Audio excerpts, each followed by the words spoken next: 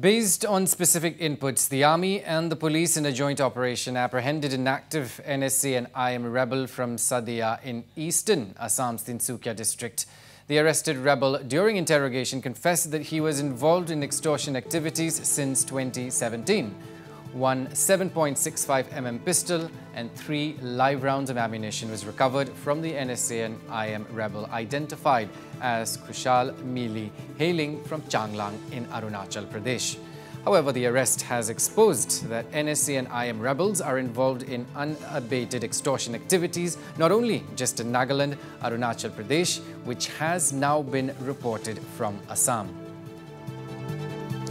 Well, this is another big story we're tracking this evening based on specific inputs. The army and the police in a joint operation apprehended an active NSCN-IM rebel from Sadiya in eastern Assam's Tinsukia district.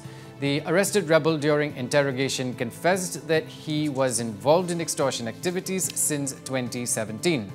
One 7.65 mm pistol and three live rounds of ammunition was recovered from the NSCN-IM rebel identified as Kushal Mili, hailing from Changlang in Arunachal Pradesh.